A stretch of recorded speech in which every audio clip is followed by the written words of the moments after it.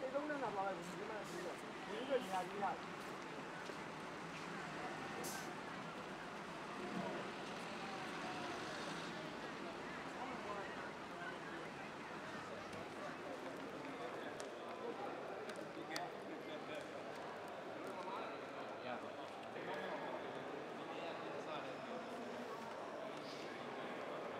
你们一个。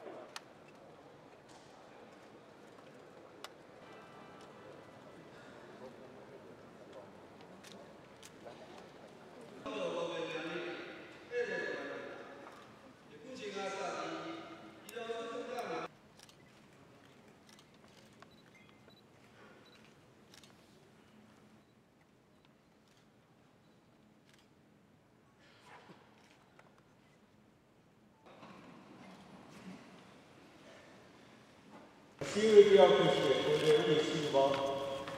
650ရှိပြီးဒီကနေ့အစည်းအဝေးကို980တိရောက်တယ်အစည်းအဝေးကိုတယောက်ဖြစ်ရှိတဲ့ဒီတော်ဦးတော်ကိုယ်တော်ဦးရှိပေါင်း89ကျောက်ကထွက်ပြရရင်ရှိပြီးအစည်းအဝေးကိုတယောက်ဖြစ်ရှိတဲ့ကိုယ်တော်ရှိပေါင်းခက်အပြင်ခြေပါကြောင်းကြီးညာပါတယ်